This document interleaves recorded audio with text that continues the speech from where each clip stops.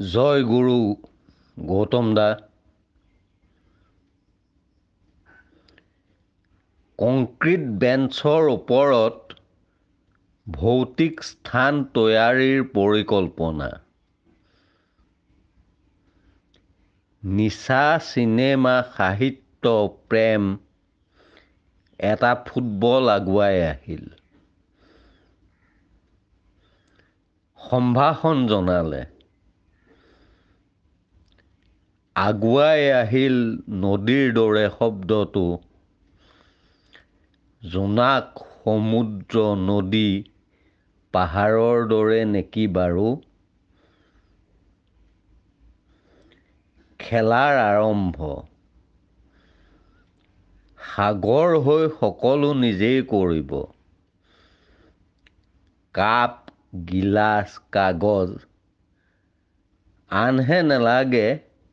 চাৰমিনাৰটোও নিজেই জ্বলাই দিব।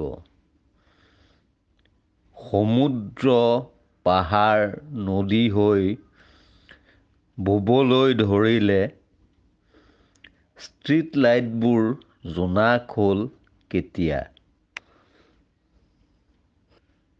চকমক এজোলোকা জোনাক নামি কি নহাকৈ থাকিব পাৰে?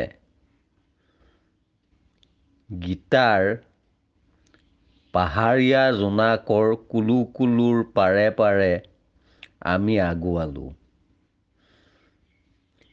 তেৱেঁই আছিল পথ প্ৰদৰ্শক। ফুটবলটো অথবা শ্বট মৰা মানুহজন।